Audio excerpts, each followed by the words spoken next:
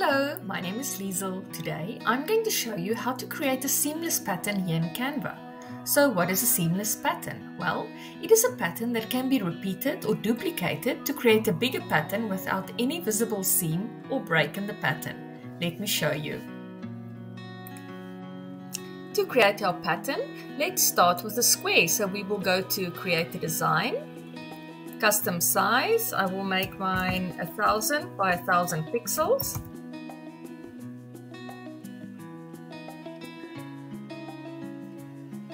Now you can go and search for any picture or element that you like within the elements. I'm going to use a circle, but you can use you can use anything, a leaf, a heart, a chocolate, a cup of coffee, whatever you like, as long as you follow the following principles. So I'm going to click this circle over onto my um, canvas. I'm going to make it a little bit smaller. Now very important is that this um, first image, you want to place it right in the middle of your canvas, right at the top, in the middle. And whilst you hold your mouse, make sure that it is actually placed also center. So you can see that there's this uh, little dark purple line at the top and in the middle. It will tell you that, that it's right in the center.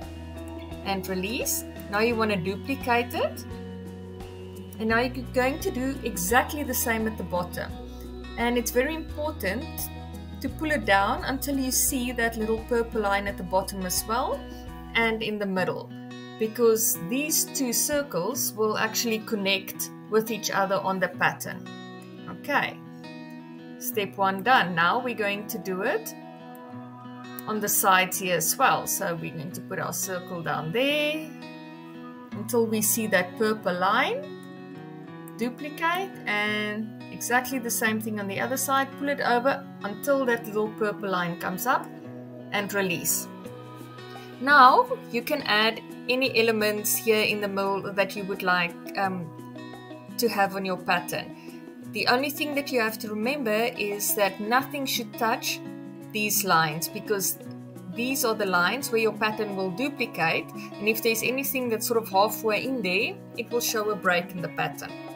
Okay so now I'm just going to start playing around with all my circles to create my pattern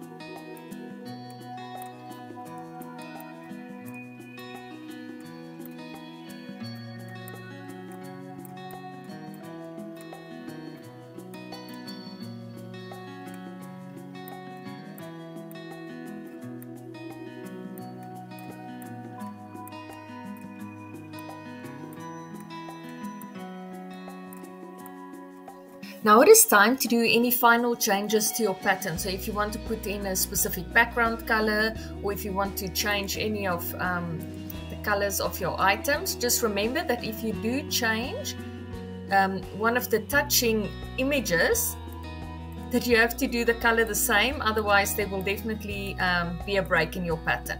Okay. For this one, I'm not going to change the background because I'm actually going to um, download this pattern of mine without the background.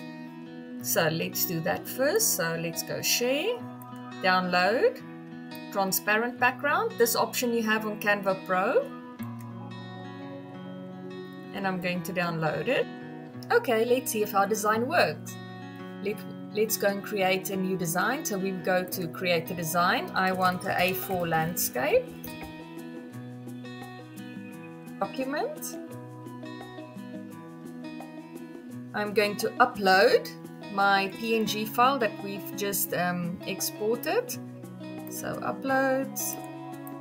And I'm going to click it over onto my um, A4 document. I'm going to make it a little bit smaller and I'm going to drag it right in the corner.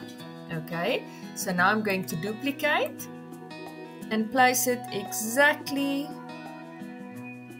next to the other one Make sure that when you um, release your mouse that you're happy with the position because now when you uh, click duplicate, Canva will place it exactly in the same spot for you and duplicate again. Let's see. Oh, okay, that looks that looks awesome. Let's try the next one. So we go duplicate again. We go down one.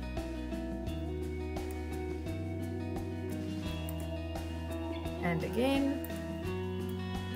Fabulous. And let's duplicate this. Let's put it down there. Exactly. Duplicate again and and last one.